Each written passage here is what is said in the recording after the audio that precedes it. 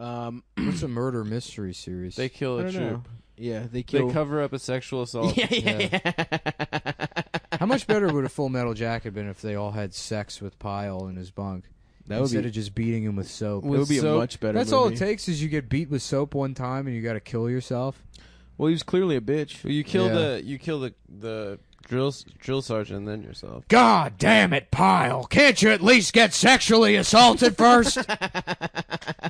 Let the boys bust a couple nuts. Wait, what is the steers and queers from Full Metal Jacket or is it from another movie? I've had this argument before. I don't know, man. Yeah. I've never only seen Full Metal Jacket. only two things come out of Oklahoma: steers and queers. Yeah, that's a classic. Is that is that Full Metal Jacket? I believe so, but I don't know. I've said that because I guess it is. is it someone else? Oh, I forget. Whatever. Never mind. Um, that was my contribution. nice, man. Uh, that movie's weird because it's like two different movies. That's pretty cool. If cool. you could be gay or a bull, which yeah, one would it's you like pick? that. It's like that Queen song.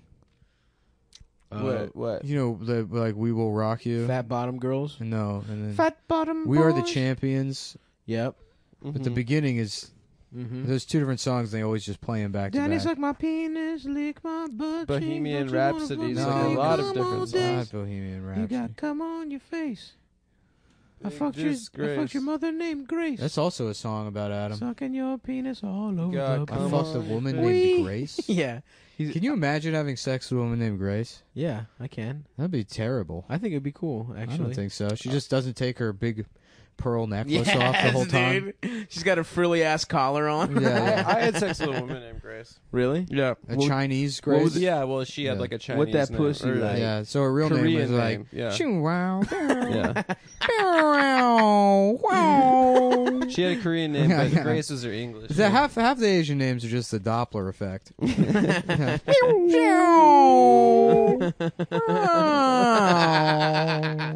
Hmm. Mm. Yeah, we name we name our daughter after standing outside the highway waiting to get picked up by pickup truck to be brought to factory. We hitchhiked from field where our daughter was born Yo, you know and they named her after sound of of of bus go by.